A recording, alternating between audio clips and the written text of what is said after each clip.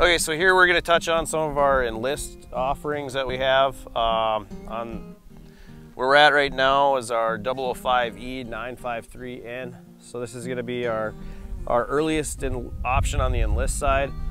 Uh, this is one that we we had for a number of years now. Kind of one of our first um, when when enlist first launched. This is one of our earliest uh, varieties that we brought on. So a few things with this one. It's going to be a a bean that you're gonna, obviously you can see behind me, it's not primarily fit for a 30 inch roll.